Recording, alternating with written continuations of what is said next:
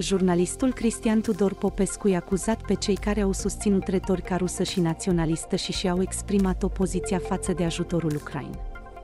Rocit Putin este în tip serios poți auzi astfel de discurs a spus pe Digi24 a spus la Clearhea dacă le-aș pune în fața mea eram curios cum a reacționa dacă le-aș pune asta într-o discuție ceea ce nu se întâmplă niciodată le-aș pun.